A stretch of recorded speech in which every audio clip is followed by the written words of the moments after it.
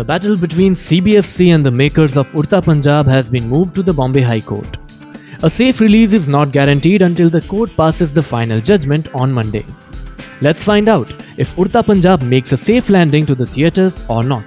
Anurag Kashyap, the producer of the film, is born with the combination of Mars and Sun in the sign of Leo, which leads to what is known as Surya Mangal Angarak Yoga. This makes up for the fact that he has a fiery attitude. Saturn, the planet of justice, is in the second house of his chart.